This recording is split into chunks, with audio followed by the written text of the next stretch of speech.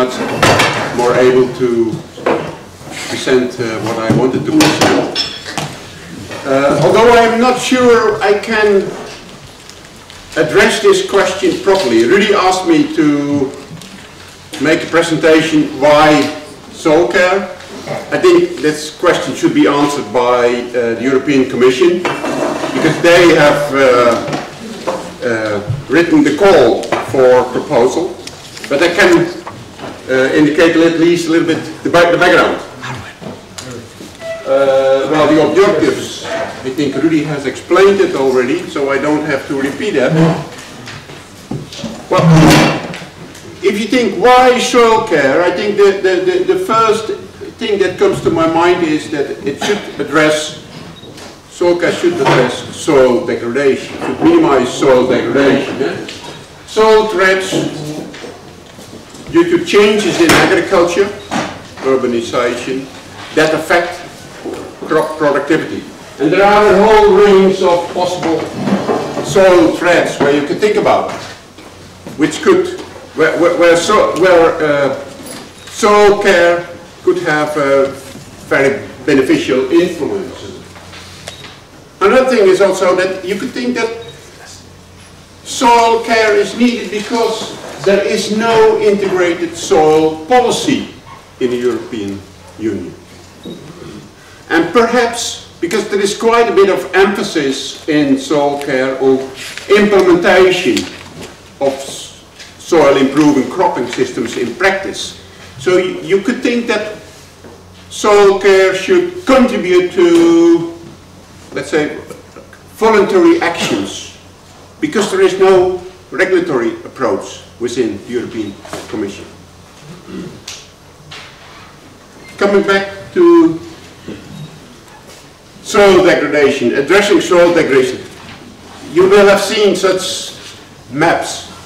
It's really frightening if you see these maps. It looks like more or less that whole Europe is degraded. The dark red is very degraded, the yellow is degraded soil. So according to this analysis, it's, uh, it's already a little bit old, but it, uh,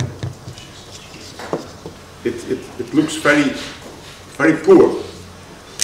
So I think we also have to, if we look in, if we go, if we focus soil care on soil degradation or minimizing soil degradation, we need to define soil degradation as well properly because I, I cannot imagine that whole Europe has degraded soils. Uh, the broader picture related to soil threats, there are, and you, you could put it in in uh, UN, you could relate soil care in relation to the UN Convention on Biological Diversity, uh, on the Convention on Climate Change, there is a soil paragraph on the Convention on, to combat desertification. It's very much focused on soil conservation. Halting soil degradation is also a priority target in the previous millennium uh, goals, Millennium Development Goals. And if you look, if you read the book of Jeffrey Sachs, halting soil degradation is one of the six top priorities of the UN. Uh, but then if you look to the Sustainable Development Goals, the recently approved soil de uh, uh, Sustainability Development Goals in 2015, you don't find soil so well pronounced. There are, well, eight Sustainable Development Goals are related to food production, and food production is of course very much related to sustainable soil management. On four places, soil is mentioned as a target. In target 2.4, which is related to no hunger, eh, uh, abating hunger. 3.9, 12.4, 15.3, which is related to seed. Interestingly, soil is not listed as an indicator. There are about 150 indicators in the Sustainable Development Goals, and none of it mentions soil. So apparently, uh, from a very prominent place in the Millennium Development Goals, it, had, it has disappeared a little bit. It doesn't come back in US Sustainable Development Goals. You could look at soil care also from another angle, not just from the angle of soil degradation, but you could think about that soil care can have a positive influence on environmental sustainability of agricultural systems and their ecosystem services. So not so much from the soil degradation influence, but more from the broader perspective of, of sustainable um, agricultural production. Again, coming back to what I said before, that there is quite a bit of emphasis in soil care on the implementation in practice, you could also think that there are concerns about the progress of environmental policies in achieving targets. In the, US, in, in, in the EU, we have quite a bit of agri-environmental policies, and in general, you may say that the progress in, uh, in achieving targets is not so strong. So perhaps there's an opportunity over there. Um, you could also think about the competitiveness of farmers. That's of course also an issue. We lose farmers. There is certain areas in Europe where uh, land is abundant. And if you look to, if you talk to uh, policymakers from DG Agri, they come up with more and more concerns about food security. The Common Agriculture Policy was started more than 60 years ago with food security as an issue. It has completely disappeared. It was, we had food surpluses, but it comes back. It comes back slowly again. So food, food security is perhaps an issue where our project may have an influence. Yes, a little bit about this broader background. I think you all know that this, this food security issue is related to the fact that uh, the rate at which the human population is doubling speeds up tremendously. And from uh, here, we, it took about uh, 50 years to grow 1 billion, and now it, it takes only 15 years to get 1 billion people in addition. And they all need to have food. There's also the issue of, uh, let's say, planetary or ecosystem soundness and the, the planetary boundaries, a safe operating space for humanity. And also here, soil cares has an influence because there are three aspects where, let's see, the human influence on the planet has exceeded what nature can absorb. And that is related to uh, biodiversity here, so it's in the red zone. And it's related to nutrients, nitrogen and phosphorus. Eutrophication. So the level of, of eutrophication is at such a level that it uh, threatens the, uh, the Earth, the sustainability of our Earth system. Yeah, looking now again, uh, uh, also asked me to talk a little bit about the drivers in agriculture and how that uh, links to our work. Well, the drivers in agriculture are basically farmers respond to markets. It's market uh, farmers. If, if you talk to farmers, they, they talk to each other as colleagues, but basically they are competitors. They are competing with each other, and they because they need uh, to get rid of the products on the market. And so changes in market evokes changes in agriculture system. And the, the big drivers are changes in demography and prosperity of people that changes the diets and the demand for food. Economics of specialization, intensification and upscaling.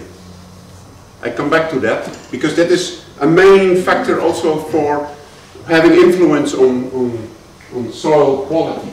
And then location-specific cost advantages. Sp specific systems tend to agglomerate near each other because they can learn from each other. They benefit from each other through exchange of information. They, they have more easy access to markets. Of course, then uh, uh, next to markets, we have the technological developments. It's the science, where we contribute as well. New breeds, new machines, and we have the governmental policies. Common agriculture policy, environmental regulations. Another thing, it is a little bit more related to uh, to the market, the changing in markets. This is from uh, Joachim von Braun from the University of Bonn and he was formerly at IFPRI, the Institute of Food and Policy Research Institute in Washington. It's amazing if you look how this, the picture has changed in the globalizing world. We have 7 billion consumers. We have a retail sector, which is, we buy our food at supermarkets. The 10 biggest supermarkets, they have a added value, then we have a, a, a, a, wat is omzet in het Engels? turnover. turnover. Turnover. They have a turnover of 1100 billion US dollar. It's an amount we can only dream about. It's amazing. And then we have the processing industry. The top 10 has a turnover of 400 billion US. And then the producers, that is the farmers. We work for the farmers, eh, probably most of it. We have 450 billion million farms and the turnover of all the farm produce is only 1300 billion euro. So the, in, in increasingly the power is in the retail sector. They dominate the prices that the consumers pay and that the producers receive. And that's also for the processing industry in between as well. So they increasingly determine also what the producers should produce. It's not only the farmers. Uh, well, this is complicated, I skip this. Coming back to the drivers. The drivers that we will examine as well in soil care because they affect soil quality. It's specialization. You all know, if you want to be the best, you have to specialize. If you want to be good in sport, you need to, to focus on only cycling and not swimming at the same time. Because you, you will never be a champion. So you need to specialize. And that's the same what farmers are doing. And specialization is here, this, it refers to a narrowing of cropping systems. And that happens. Yeah. Secondly is intensification. Again, comparing it with sport, it's again clear. If you don't intensify your training program, you'll never become a champion. Yeah, so intensification, getting more out of your body, getting more out of the land, getting more per unit of labor. Mechanization, if possible try to use a small battery in your bicycle because that is much more easy to to stay in the group. Upscaling, I come back to that. Farmers have to scale up their farm, otherwise they will be outcompeted. And the other one is conservation. It is more or less the opposite. So these ones are soil, I, I would say, contribute, these, these driving forces contribute to soil threats. And conservation is just the opposite. It helps to conserving soil. Yeah, and how does it work? Well, if you look to uh, driving forces and farming systems, of cropping systems, you have here the driving forces that leads to changes within the farm, in management, breeds, and so on. That leads to technical, technological progress on the farm, in the field, in your cropping systems. Increased yield, increased yield per laborer, changes in emission, developments of productivity that leads to changes in farm structure and changes in price ratio. And that, again, this is the internal driver. There is also an internal driver within the cropping system. So you have external driving forces that fuel changes, but there are also internal changes through changes in farm structure and changes in the price ratios. Of course, there are also natural driving forces. We have learned, most of you have learned that. Uh, this map just reminds me that Europe is not everywhere as in the Netherlands. Uh, fortunately, I would say. This is a map of environmental stratification. This is a map made some 10 years ago. It's based on climate parameters, uh, geomorphology parameters, soil parameters, and it shows the diversity of environmental zones. So the, the, the, the environment in which the cropping systems uh, operate. You can combine this kind of environmental stratification with, with your modeling. So if, if you would, for example, uh, put a map on potential yields, you will find that the potential, this is where the potential yields are highest. Here it's low because of drought in summer. In Scandinavian it's simply too cold. And in Eastern Europe it's also too cold too dry. You can also combine it with maps on geomorphology. You can make maps showing the potential for nitrogen losses, but you can also make uh, maps for erosion losses. Yeah, the, the vulnerability for erosion. So it means that there is a huge diversity in Europe as regards to the vulnerability to soil threats and soil degradation. Yeah, a few words on crop production. Uh, this is a picture also almost 20 years old. This is a little bit about uh, that, that in crop production, in crop production, you have more or less three situations. You have the potential, the yield potential. It's defined by the genetic, the genetics of your crop, the crop variety, and the climate. Then you have this water and nutrient limited production. Crops need water and nutrient. Uh, and all over the world you may say that crop yields currently are strongly, on, on average, water and nutrient limited. Perhaps with the exception of Ireland, they have enough water, and the Netherlands, we have water and a lot, lot of manure as well. And then you have the actual crop yield, which is reduced. It's reducing factors because then you get also weeds, pests, uh, diseases, and pollutants. So this is a little bit it helps you to understand difference in yield uh, and, and also how management can affect. If we then look to soil. What is the influence of soil? Oh yeah, this is interesting. I forgot to tell. In this original paper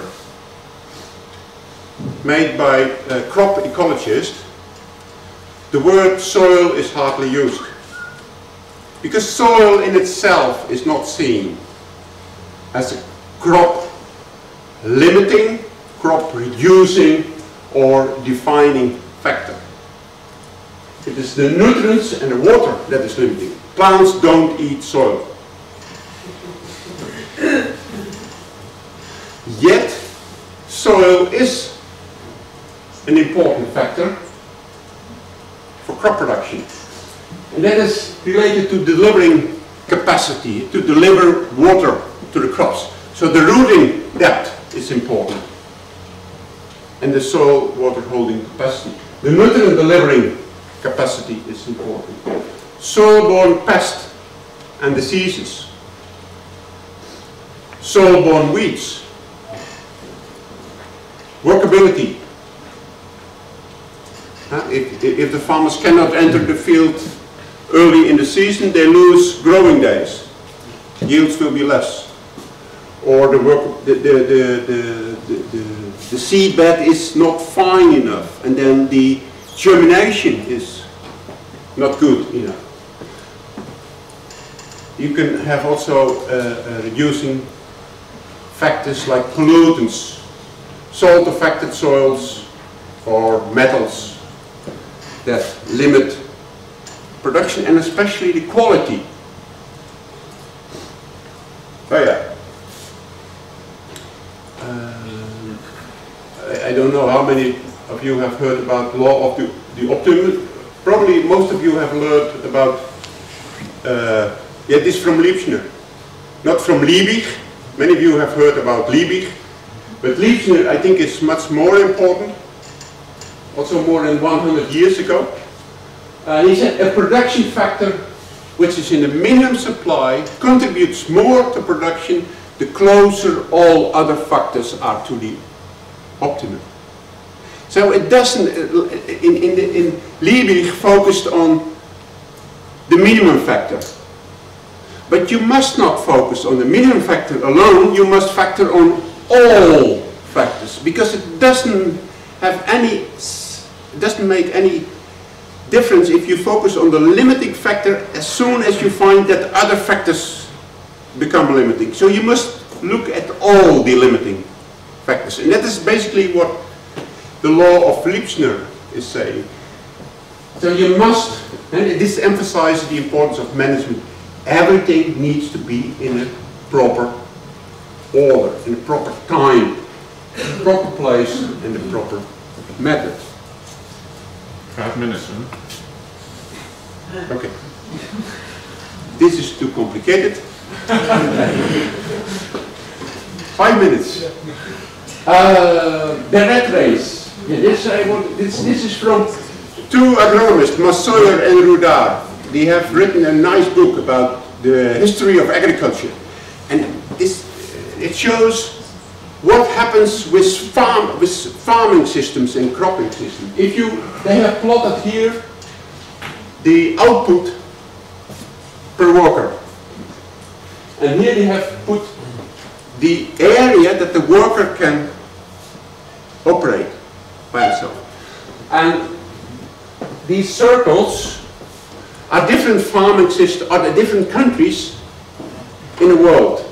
So here you have many small farms in Africa, in China, and in a globalizing world, they have to compete with the big farmers in the US.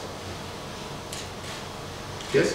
And these big farmers, they, they, what they do, they, they, because they know the law of the optimum, they improve and they, they, law that they know the technology, so their output increases. This goes up in this way. But at the same time, because they produce more, and so far production has always been ahead of uh, demand, there is a fall in, price, in prices of agricultural produce. And so these balls fall to this level in terms of currencies. Yeah? And at the same time, there is a rise in the cost of living because farmers also want to have a television, want to go on holidays and so on. The net effect is that here farmers are squeezed out, drop out. So the red race means there is a continuous pressure among the farmers community to increase production, to increase the productivity and to increase the area of the land. Otherwise, they have the other, the other thing what they can do is change crops. so if, if you are not clever as a, as a producer, you produce biofuels, very low value, or fibers, forage. The best one is wheat. In my country there are many uh, people that know how much money you can earn by growing marijuana in your garage. it's just the value, and that is what there is a there is a pressure because the, the output, the value of these small crops is tremendously high, and it's the same for fragrance and perfumes. So small farmers need to to focus on high value crops, root crops, flowers, also too complicated. Uh, policy drives. Many policies.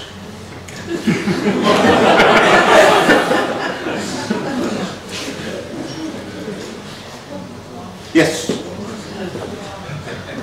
Summary and prop propositions. Uh, yeah, so the, the need for soil care as a project as we sit here is, I think, emanates from soil threats. Soil threats that contribute to soil degradation. And also probably because of a lack of an integral soil policy within the European Commission. So they want to achieve uh, soil conservation not through policy but maybe through smart way of implementing uh, voluntary measures like soil improving cropping systems. It could be that soil care, there is a need for soil care perhaps also related to concerns about environmental sustainability in general in cropping systems, the slow progress of environmental policy implementation, the competitiveness of EU farmers, future food security. I have, I hope I have shown that there are ongoing driving forces eh, that change cropping systems, but that also change soil quality. Yeah, soil improving cropping systems, in my view, this, this is my proposition. Soil improving cropping systems seem most appropriate to address subtle forms of soil degradation, erosion, compaction, loss of soil organic matter, biodiversity, salinization. So it's not a big threat, subtle forms, where you still have an influence through cropping systems. Crop yields, resource use efficiency and environmental performance can be increased simultaneously through proper soil improving cropping systems. That is the general hypothesis of this project. Thank you just within yes. the limit. Yes.